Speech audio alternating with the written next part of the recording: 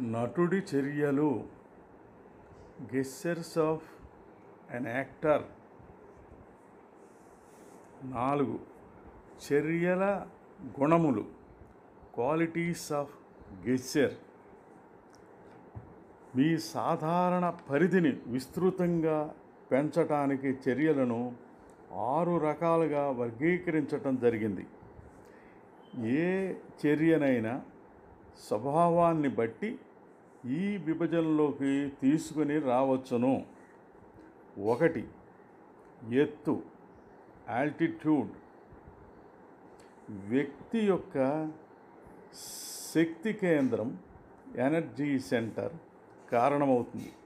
అతని చర్యల గెస్సర్ యొక్క ఎత్తు యాటిట్యూడ్ ఆల్టిట్యూడ్ను పెంచే ప్రాధాన్యం ఎంఫసైజ్ ఇస్తుంది. ఆ చర్య కేంద్రానికి సంబంధించినదై ఉంటుంది. పెద్ద పొట్ట పొట్టగల మనిషి ఉదాహరణగా తీసుకుందాం. సాధారణ స్థలంలోనే అతని చర్యలు గెస్చర్స్ ఉంటాయి. మరియు అతని కంఠస్వరము దానికి తగినట్లుగానే స్టమక్ వాయిస్ ఉంటుంది. రెండు శక్తి. స్ట్రెంగ్త్. వ్యక్తి యొక్క చర్యలు గెస్సర్స్ బలహీనముగా కానీ బలంగా కానీ ఏదో ఒక లక్షణమునకు లేక రకమునకు చెంది ఉంటాయి. మూడు గతివేగము టెంపో.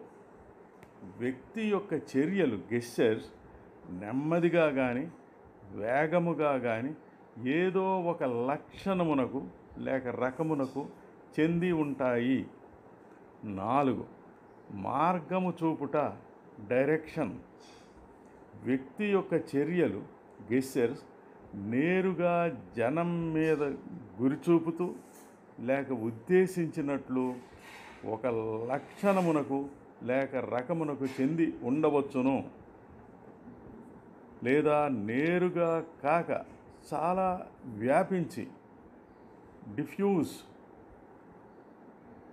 విశాలము బ్రాడ్ లేక నిశ్చయము లేని తీరున కూడా ఉండవచ్చును.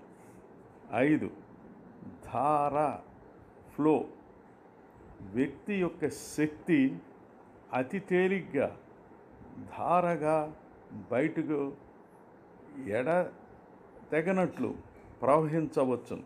లేదా ఎల్లై ఉండవచ్చును. బౌండ్ ఇన్ ఆరు ఒకటిగా కలుపు లేక ఐక్యము చేయు ఇంటిగ్రేషన్ వ్యక్తి యొక్క శక్తి ఏకధారగా ప్రవహించవచ్చును లేదా అప్పుడప్పుడు జరగవచ్చును. మరియు అతని శరీరము ఒకటిగా కలిసి ఉండవచ్చును లేదా విడివిడి భాగాలుగా డిస్అసోసియేటెడ్ మొక్కలై ఉండవచ్చును. Such dissociation of the parts of the body is a typical of schizoid characters వ్యక్తి యొక్క చర్య నాణ్యతగా ఉండాలంటే ఈ రకములన్నీ కూడా నిజానికి కొన్ని కలిసి పని చేస్తాయి. ప్రతి నాణ్యత కూడా సంఘటన బట్టి ఉంటుంది. ఒక ప్రత్యేక సంఘటనలో వ్యక్తి యొక్క గతి వేగము ప్రాథమికముగా నెమ్మదిగా ఉండవచ్చును. చర్యలు కానీ కదలికలు కానీ బాగా వేగముగా ఉండవచ్చును. కానీ అటువంటి సంఘటనలో పాత్ర ప్రదర్శించినట్లే మళ్ళీ ఉండక వేరే వేగము ఉండవచ్చును. ఆ పాత్ర గంభీరమైన గతివేగము దానితో ప్రారంభించటానికి తొందరపడుతుంది.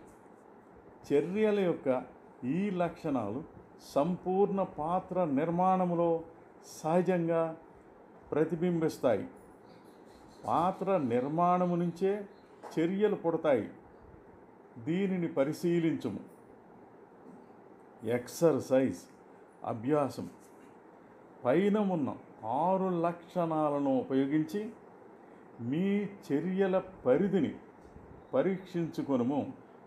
మీ గంభీరమైన ఎత్తు యాల్టిట్యూడ్ ఏమిటి? మీ చర్యల ప్రత్యేకముగా బలహీనముగా ఉన్నవా? బలముగా ఉన్నవా?